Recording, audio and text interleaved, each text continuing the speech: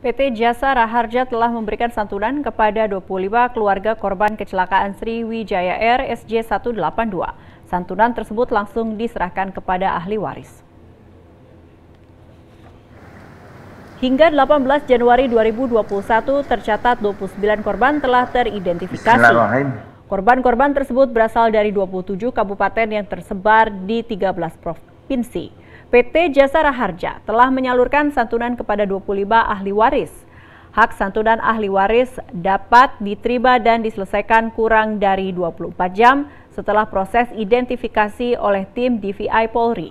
Dari 29 korban yang sudah diidentifikasi, Jasa Raharja sudah melakukan santunan kepada ahli waris yang bersangkutan yakni sebanyak 25 sedangkan empat lainnya masih dalam proses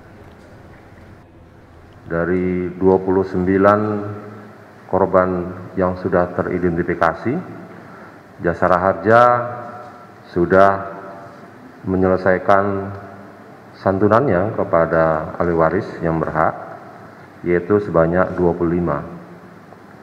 Sedangkan yang empat masih dalam proses, tentunya pada kesempatan pertama akan